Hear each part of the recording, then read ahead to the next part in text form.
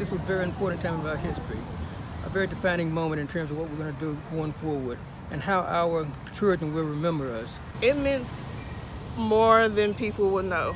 Um, it meant a great deal that the fact that they're taking the initiative and changing the state flag and putting something that's a little bit more peaceful and universal and has a positive message to it and I'm really proud that they're changing it. I like the fact that the citizens participated and came with the five finalists. Uh, very, I'm very happy that the commissioners took the job very seriously and very hard in terms of promoting five particular flags. I don't have a favorite right now, but I, I'm glad that we're going to have a flag that's going to represent Mississippi.